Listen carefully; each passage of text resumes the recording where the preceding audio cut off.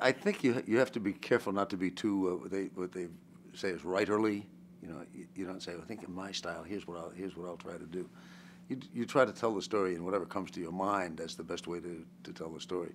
Not just to impart information, but telling a story and imparting information. If you want information, there's the telephone book. It's full of information, but you happen to be looking up one thing. Fortunately, it's arranged alphabetically, so you can find the person that you're looking for and then call the telephone number.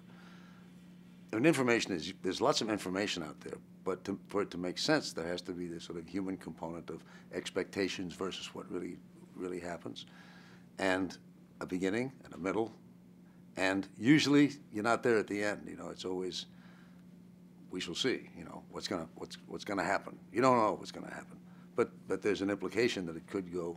And if you're writing many years after the fact, I'm thinking now of the Charlie Wilson's War movie, where say so this was a good thing. We helped the the Afghan freedom fighters to get rid of the the Russians of the of the, the those folks who had, who had invaded them.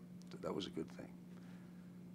And the, the, the very smart CIA guy who helps to do it says, as the you know as the seers said, as the we shall see, because that, th those people turned out to be you know the Taliban. They're the ones who turned out to be the ones that are your enemy. Now it's a, now it's a different different story, but you don't you don't know how things are going to work out in the end.